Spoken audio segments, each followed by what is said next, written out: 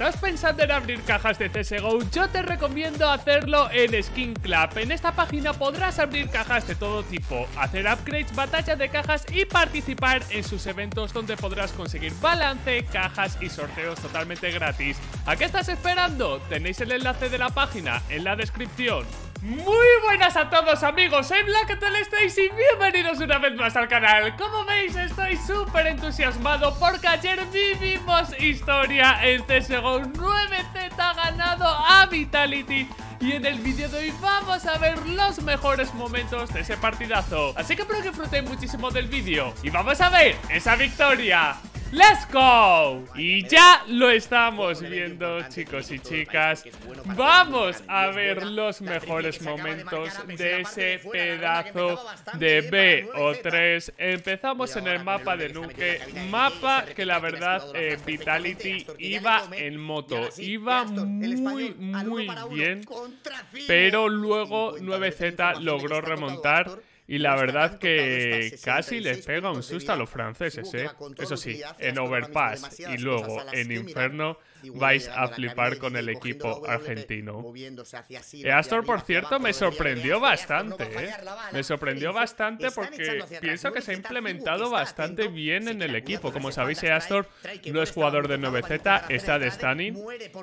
Y bueno, Zaigu empezó muy bien también. Y luego, eh, por cierto, habéis visto un cambio, ¿vale? Eh, primero estaba el caster en español, ahora vamos a pasar al caster en inglés porque la calidad va a mejorar. Y lo consigo, Zaibu, 007 en Inferno, ¿qué te pasó? Como sabéis, mañana se enfrentará 9Z ante el equipo de Heroic. Siento que Heroic a día de hoy es mejor equipo que Vitality, así que, bueno, para la gente de, de Latinoamérica, evidentemente no lo celebremos aún, ojalá. 9Z se clasifique para esas semifinales sería algo increíble.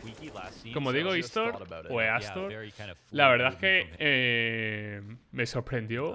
Y bueno, como sabéis, su rol es el de AVP, ¿no? Pero claro, teniendo a Try, como, eh, ¿qué haces? Eh, evidentemente jugó AK, no jugó su rol, pero eh, en Inferno se intentaron la doble setup de AVP. Estamos ahora en el mapa de Overpass. Aquí Max, muy, muy bien. Y Max y, y Try, increíbles.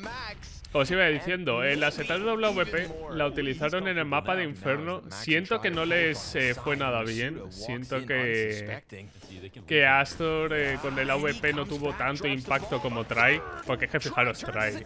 Es que es un puto psicópata, tío. O sea, ¿vosotros sabéis el hijo que le hizo a Zaibu? O sea, creo recordar que en los 6 uno para uno que tuvieron en, en Overpass AVP, Try se lo hizo las 6 veces. ¿Qué estamos hablando? Del mejor jugador de 2020. Podemos discutir si es mejor simple o Zaibu, lo que sea. Es, una puta leyenda. Llegó Trice, lo hizo, vamos.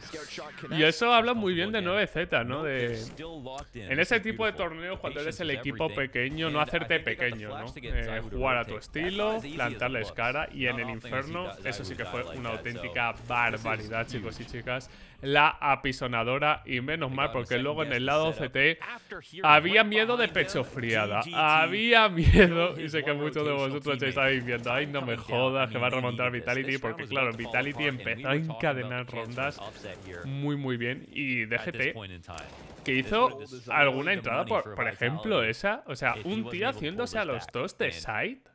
Qué lástima que ese clutch no saliera. Y ya estamos en el mapa de Inferno, chicos y chicas. Volando 9Z, o sea Puto, puto volando. Mira, mira cómo lo celebran, tío.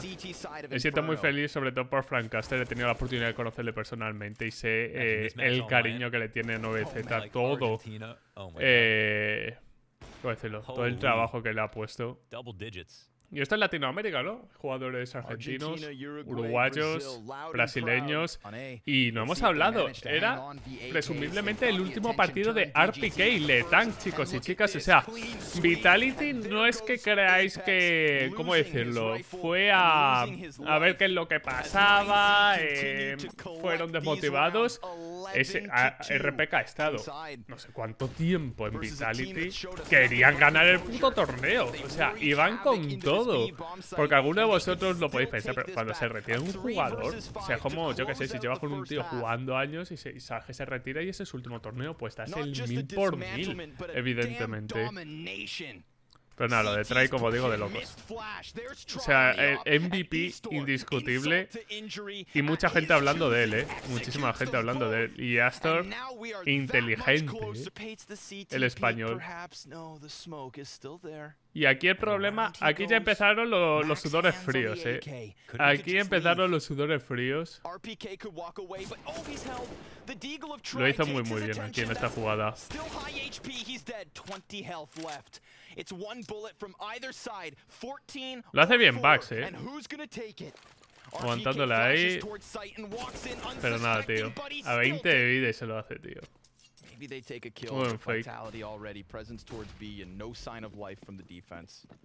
Y aquí, o sea, también una cosa que me gustaba, las, las agresivas que hacía 9Z por medio, me gustaban muchísimo, en plan, sin miedo, eh yéndoles a morderles.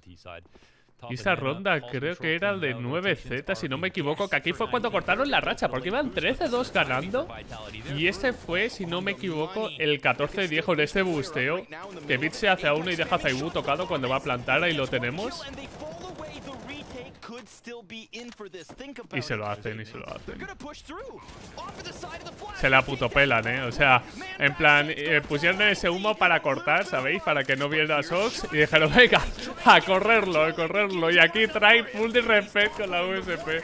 esto sí que me acuerdo cómo se lo hace. Y aquí tenemos la última ronda. Una lectura increíble de 9Z. Estaba todo el mundo en el side de A. Y como vais a ver, chicos y chicas se llevan la victoria y yo creo que quitando el subcampeonato de, Argentina, esto es uno de los momentos más bonitos para la escena hispanohablante.